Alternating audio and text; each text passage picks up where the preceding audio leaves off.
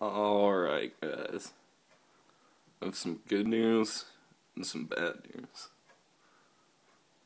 Talked to GoPro, and they said we can't do shit for you. Your camera landed on its lens, that's not in our warranty.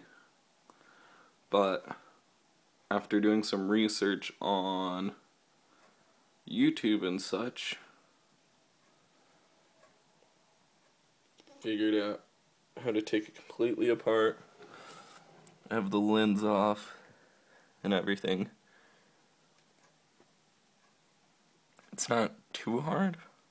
It's just I was waiting till GoPro said you you're out of luck before I went and took apart the camera.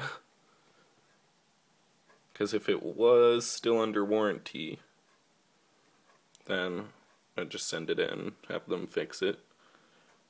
But if I did take it apart, they wouldn't let me. So I just waited till GoPro said you're shit out of luck.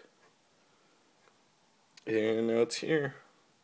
Ordered the $12 lens. Should be coming within the next couple days. And I'll be back to making videos.